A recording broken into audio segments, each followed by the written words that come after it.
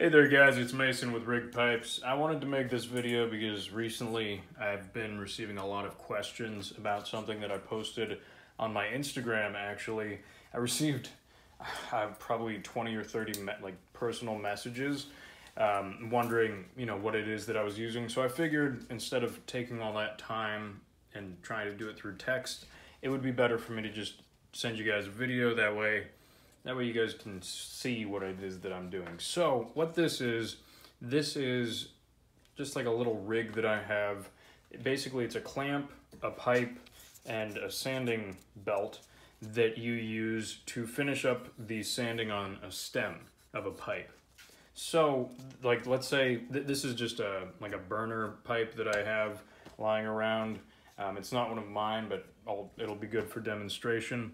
Once the stem has already been shaped to rough shaping, one of the best things you can do to get all of the big scratches out is actually to put it in a, uh, what would this be called, like a vise or a clamp of some kind, and use these sanding belts to basically hand belt sand it. So you just you just do one of those guys. And then you can always, so this is 600 grit, but then you can always move up. I find that the Merca Abranet is really good. You can even take this and go like that. But it's just a lot easier than, you know, trying to sit there with it in your hand.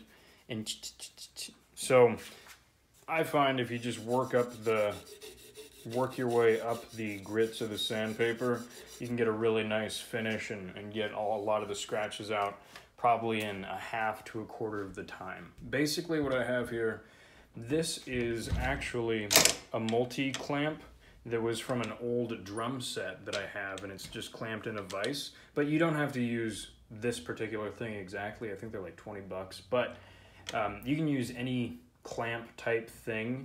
You could even just put this in a straight vise. You'll just want to, you know, pad around the, the teeth. That way it doesn't dig into the pipe.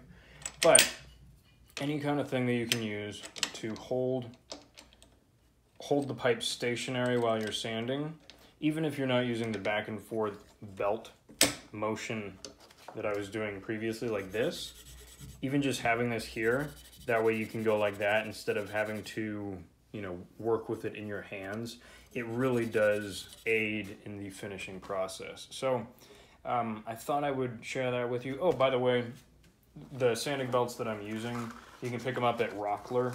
They're just, um, let me see, can I get, okay, multi, sorry, I have this on a, like a tripod.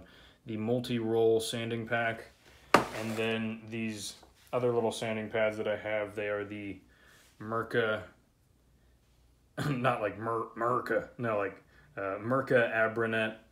These these guys are awesome. I use these. So there's just a couple tips for you. hopefully, hopefully that helps. Um, it saves me a lot of time when making stems, just in the finishing part of the stem, because you can and then just rotate it around, and then so you like that?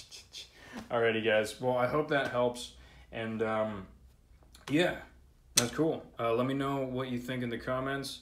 Um, let me know if this was helpful to you. And I can't wait to hear from you guys to see if you've been using it and to see if it helps you. All right. Have a good one. Take care.